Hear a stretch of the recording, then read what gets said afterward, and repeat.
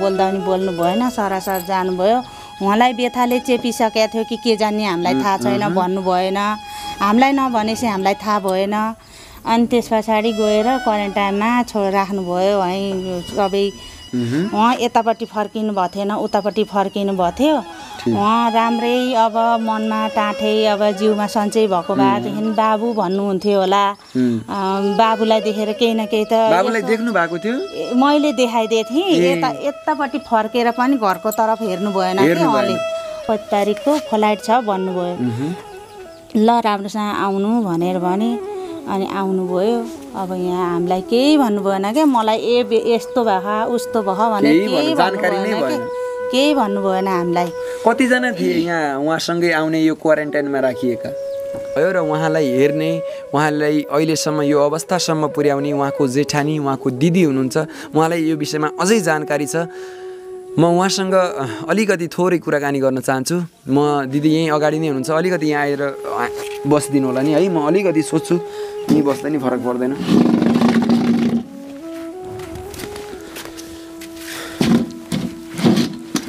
सबैलाई नमस्ते मेरो नमस्ते। हजुर नमस्ते दिदी। म उहाँको उम्, के अरे जेठानी दिदी पनि हो। हजुर। अब उहाँहरूलाई मैले यताउता हेर्ने अनि सिकाउने व्यवहारहरू टार्ने गरिराखेको छु मैले। पहिले पनि अब कान्छा हुँदाखेरि पनि देवर हुँदाखेरि पनि भाउजू अब तपाईँको हातमा जिम्मेवारी छ घर बनाउन पनि तपाईँको हातमा छ कुरो सबै तपाईँले गरिदिनु होला भन्नुभयो। मैले सबै थोक उहाँको उम्, के अरे घरहरू बनाइदिएँ बनाएर पनि अब लाग्यो बिस पच्चिस लाखै लाग्यो घर बनाउनलाई। अनि केही पैसा उहाँसँग थियो। केही पैसा चाहिँ अब यताउति के अरे गरेर? ऋणधन गरेर बाँकी राखेर ओरेर पछि तिराउँला भनेर ओरेर सरसल्लाह गरेर ऋण व्यवहार छ नभएको होइन छ दस बाह्र लाख जति छ ऋण तिर्नलाई। उहाँ विदेशमा हुँदा तपाईँले चाहिँ यहाँ घर बनाइदिनु भएको थियो उहाँको आग्रहमा चाहिँ तपाईँको देवरको आग्रहमा। हजुर। उहाँ चाहिँ आउनु पाउनु भएन घर बनाउने बेलामा नि। हामीले यहाँ घरसर बनाउँदा नि फोटो खिच्दै पठाउँदै फोटो खिच्दै पठाउँदै गऱ्यौँ। रातको घर परेको हो भूकम्पको रातको घर परेको हो। अनि अब केही रात रातको घर तिन चार तिन लाख आयो। अनि त्यस पछाडि आफ्नै पैसा अलिअलि थियो। त्यो पैसाले बनाएर अलिअलि ऋण खोजेर अनि घर यति चाहिँ बनाएर राखेको। अब पछि तिर्दै गरौँला नि कमाउँदै तिर्दै गरौँला भनेर भन्नुभयो देवरले। अब देवर यो अवस्थामा आउनुभयो आउनुभयो हामीले बोली पनि मिसाउन पाइएन। सत्र गति बिहान के अरे एयरपोर्ट झर्नुभयो। एयरपोर्ट झरेँ भन्नुभयो अनि त्यस पछाडि मैले अब त्यहाँबाट आउन कस्तो व्यवस्था छ भनेर उहाँ खासै अब दिदी कम बोल्नु हुँदो रहेछ। मैले उहाँसँग अब धेरै कुराहरू पनि खोताल्न चाहिनँ र उहाँले भन्न पनि सक्नु भएन त्यो अर्थले।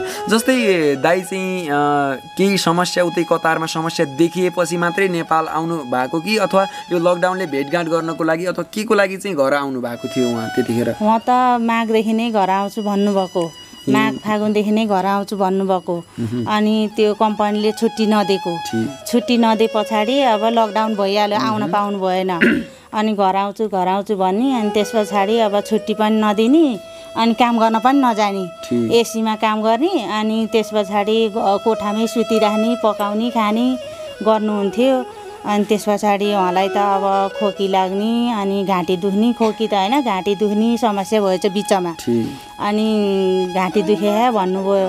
अब उहाँको श्रीमतीले भन्दाखेरि न टेर्नु भएन के? टेर्नु भएन अनि मैले के अरे त्यो टन्सिल भएर पाकेपछि गाह्रो हुन्छ अपरेसन गर्न पैसा पर्छ पैसा धेरै लाग्छ। अब तपाईँ विदेशमा हामी यहाँ स्वदेशमा हामीले देख्न पनि पाइँदैन राम्रोसँग उपचार गर्नु भनेर भने मैले। अनि त्यस पछाडि गएर जँचाएर आएँ। सन्चो भयो आज त मेरो घाउ राग्लेको रहेछ घाँटीको घाउ राग्लेको रहेछ सन्चो भयो भन्नुभयो। अनि त्यस पछाडि त्यो यता घर आउनलाई के अरे त्यो नाम निक्लेछ। नाम। निक्ले पछाडि म घर आउने हो भन्नुभयो।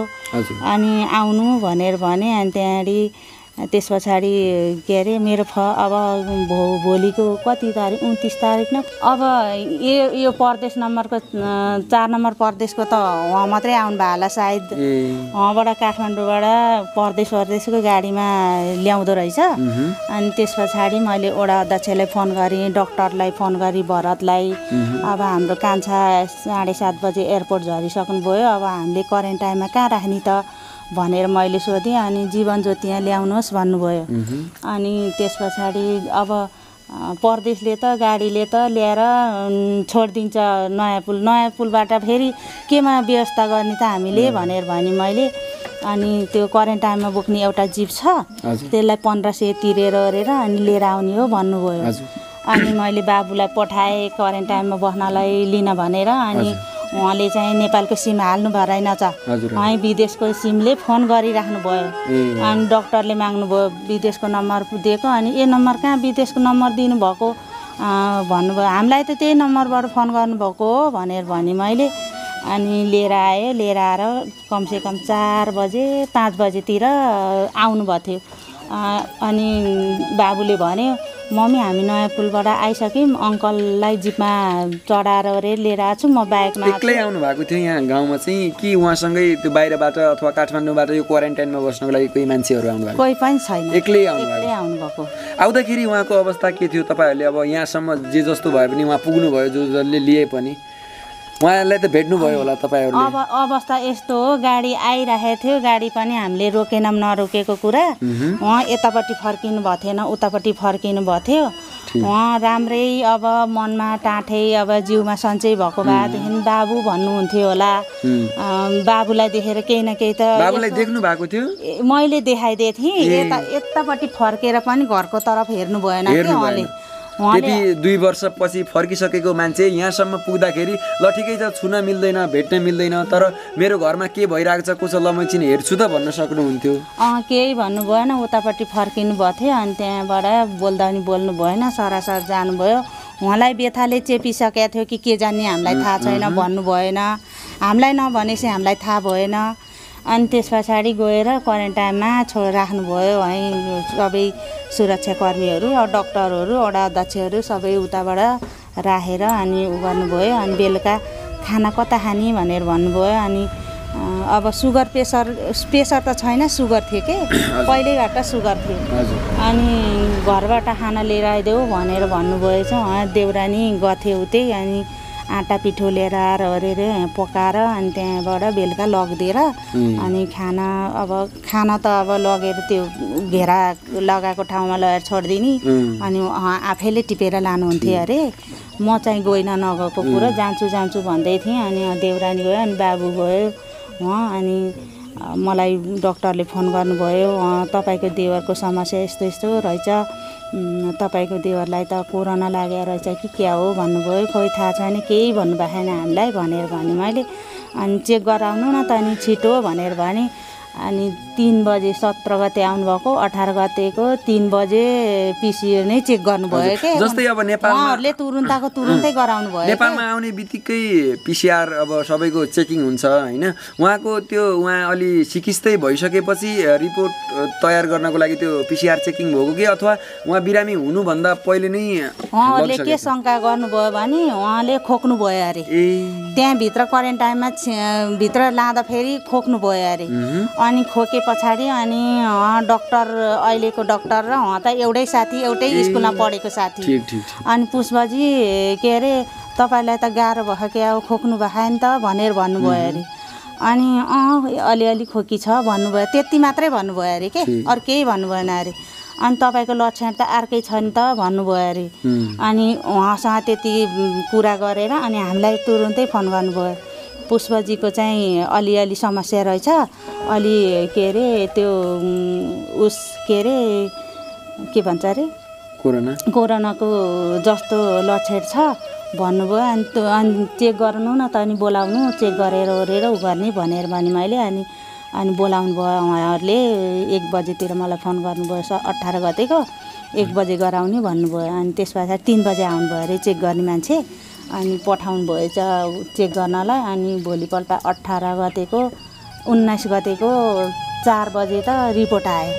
अनि मलाई भन्नुभयो त के अरे तपाईँ कता हुनुहुन्छ भनेर भन्नुभयो अनि म घरै हो भने तपाईँको परिवार नजिकै हुनुहुन्छ कि हुनुहुन्न देउरानीको नजिक हुनुहुन्छ कि हुनुहुन्न भन्नुभयो। म देउरानीभन्दा थोरै टाढा छु बाहिर छु देउरानीहरू भित्र छ भनेर भने मैले तपाईँको देवरको त पोजिटिभ आछ भनेर भन्नुभयो।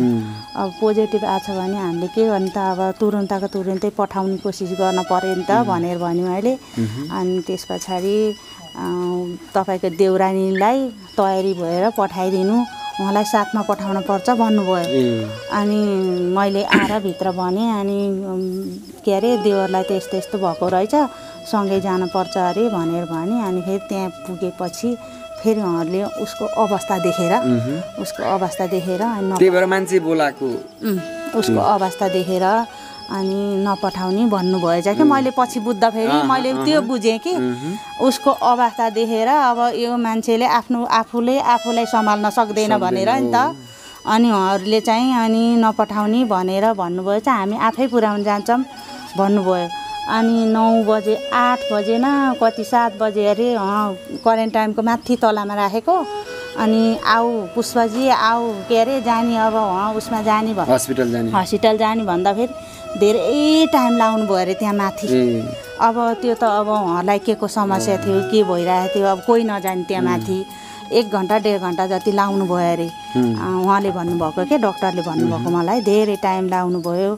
पैसा नजिक्नुहोस्। भनेर भन्नुभयो पैसा नि ल्याउनु भएको कि ल्याउनु भएन कि केही थाहा छैन। हामीले आजको दिनसम्म हामीले क्वारेन्टाइनबाट झोला पनि ल्याएको छैन। जिल्ला हस्पिटलमा मोबाइल र एउटा सानो ब्याग थियो। त्यो हिजो अस्ति भर्खर लिएर आएको जिल्ला हस्पिटलबाट अस्ति। अनि लिन आउन भन्नुभयो लिएर आयो। एकदमै अब दुःखद घटना घटेको छ। तपाईँले आफ्नो देवर गुमाउनु भएको छ। तपाईँकी बहिनी भनौँ अथवा देउरानी भनौँ उहाँले आफ्नो श्रीमान गुमाउनु भएको छ। अब निकै पीडा परेको छ। यतिखेर अब तपाईँको बहिनीको अवस्था तपाईँको देउरानीको अवस्था एकदमै नाजुक छ। साना उहाँका लालाबालाहरू छन्। छोरी छ भर्खर दस एघार वर्षको चार वर्षको छोरा छ। अब उहाँ तपाईँको देवर यो संसारमा रहनु भएन। अब उहाँहरूको चाहिँ पालन पोषणको लागि त्यो एघार लाख ऋणहरूको लागि कसरी तिर्ने के गर्दा हुन्छ के छ यसको बारेमा चाहिँ? हजुरहरूले केही सोचिराख्नु भएको छ? यसको बारेमा अब ऋणहरू छ अब ऋण त जसरी नि तिर्न पर्यो। लाएको ऋण र खाएको ऋण त तिर्न पर्यो जसरी नि। अब नलाएको न नखाएको ऋण भए पो ठुलो कुरा गर्ने त्यो ठुलो करे- गर्न भएन। अब के अरे ब्याज नदिए पनि सौ मात्रै दिउँ। बेचौँ भन्ने एउटा सानो त्यहाँ जग्गा छ। अनि यो अरू जग्गा यतापट्टि छ त्यो चाहिँ यतापट्टिको जग्गा छ। पहिल्यैदेखि हो कि अथवा पछि जोड्नु भएको थियो? त्यो? पहिल्यै जिजु बाजेकै उसमा ससुराहरूको पालोको सम्पत्ति नै हो। त्यो माइला देवरलाई दिनुभएको अरे। एउटा आश भनेको त्यो एउटा सानो जग्गाको मात्रै हो अरू केही छैन अनि त्यसलाई बेचेर अब ऋण सिन तिर्दिने। त्यस पछाडि ऋणबाट मुक्त भएपछि त बच्चाहरूलाई त अब दुःख सुख मेलापात गरेर पनि अब यताउति खाने अनि पढाउनको लागि चाहिँ अब म अब उसको जेठानी म दिदी पनि अब जेठाजु छोराहरू छन् मेरो।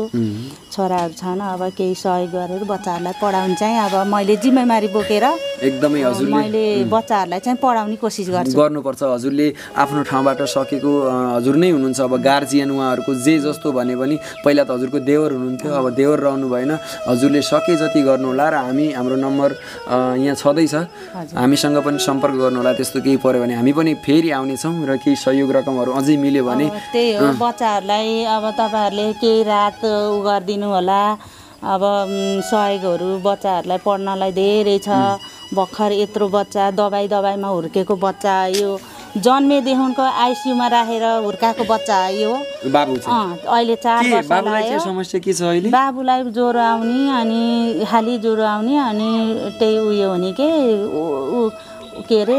सास लाग्ने? होइन सास लाग्ने होइन। पखालोहरू झाडाहरू भइराख्ने त्यस्तो भएर ओरेर यसलाई पटक पटक लगेर ओरेर आइसियुमा राखेर ओरेर बच्चालाई बचाएको। अहिले अहिले कति भने यसलाई छ महिना जति भयो औषधि पनि खुवाउन परेको छैन अहिले चाहिँ। उसलाई उसलाई ठ्याक्क औषधि पनि खुवाउन परेको छैन। यता बाबालाई त्यस्तो भयो कि। त्यस्तो भयो दबाई दबाईले बाँचेको छोरा हो छोरी हो। यिनीहरूलाई धेरै समस्या छ। अलिअलि कमाइ भएको पैसा पनि बच्चाहरूलाई उपचार गर्दैन ठिक्क। अब त्यही हो समस्या। ठिक छ अब जे नहुनु थियो त्यो भइसकेको छ। यो दैवको लीला कसैले पनि टार्न सक्दैन। अब धेरै दुःख मानेर पनि काम छैन। उहाँलाई सम्झाउनु भन्दा पनि म हजुरलाई भनेर जानेछु। सम्झाउनु त म के सम्झाउन सक्थेँ र एउटा बिन्ती बिसाएर जानेछु। तपाईँले कहिल्यै साथ नछोड्नु होला उहाँको यो दुःखको बेलामा। तपाईँलाई पनि भगवान्ले साथ दिनेछन्। तपाईँको पनि राम्रै राम्रो गर्नेको राम्रै हुन्- हुन्छ। मान्छेले विभिन्न कुराहरू भन्लान् त्यो भनेको पछि नलाग्नु होला मैले अहिलेसम्म मैले कसैको कुरा पनि सुन्दिनँ। म आफ्नो कुरा नै उ गर्छु।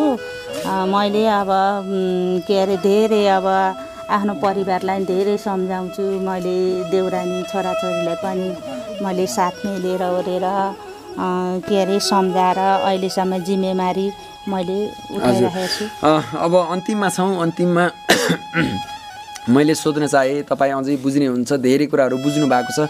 यहाँको स्थानीय सरकार यहाँको नगरपालिका अथवा नेपाल सरकारले यसरी विदेशबाट आउनुभएका मान्छेहरू अचानक कोरोना अ, सङ्क्रमण देखिएर मृत्यु हुनुभयो अथवा विदेशबाट आएपछि यस्तो घटना घट्यो भने त्यसलाई केही क्षतिपूर्ति अथवा केही रकमहरू यहाँको नगरपालिका स्थानीय सरकार अथवा प्रदेश सरकारले केही दिने रहेछ केही बुझ्नु भएको छ?